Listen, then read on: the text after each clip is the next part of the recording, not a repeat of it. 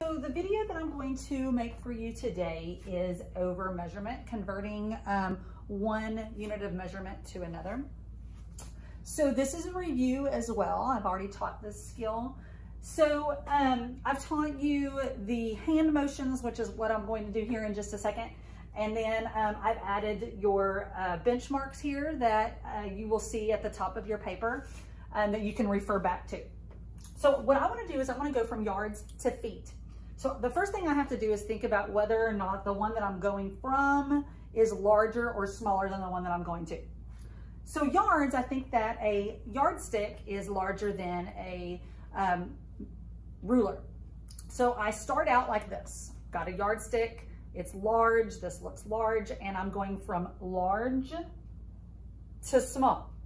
And then whenever I do my hands like this, it looks like a multiplication sign. So that tells me I have to multiply to get to the smaller unit of measurement.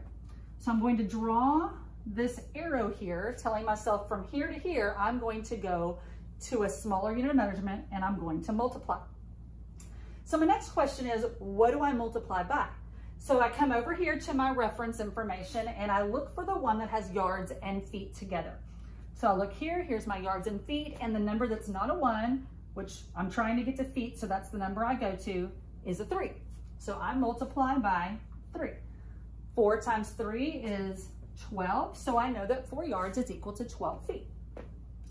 So my next one, I'm going from inches to feet. So I think inches are smaller than feet, so I start here in the multiplication sign, and I go large. And this looks like a division sign. So I'm going to divide. Now I've got to figure out what am I going to divide by. So I'll go find inches and feet.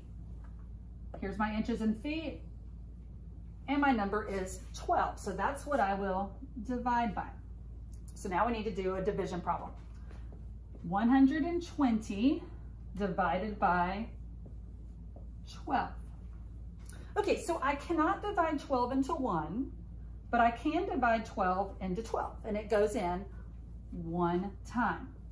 12 times 1 is 12. I subtract that and I get a 0, but I'm not finished because I still have this 0 sitting here, so I'm going to have to bring that down. Even though this is 0 and you're thinking, okay, I'm done because I don't have any kind of a remainder, I still have to have an answer above this 0. So how many times can 12 go into 0? It goes in 0 times.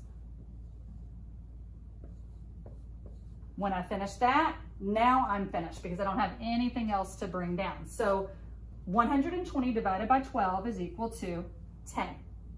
Now I've got to go from millimeters to centimeters.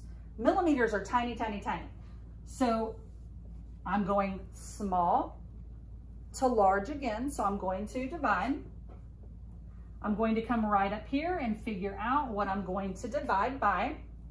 So Really quickly, this is customary units of measurement. This one here is a metric unit of measurement. We use that in science. Um, so let's take a look.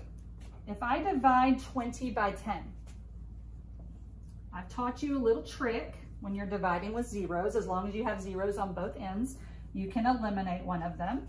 And so now all I have to do is divide one into two. So how many times does one go into two? It goes in two times, so our answer is two.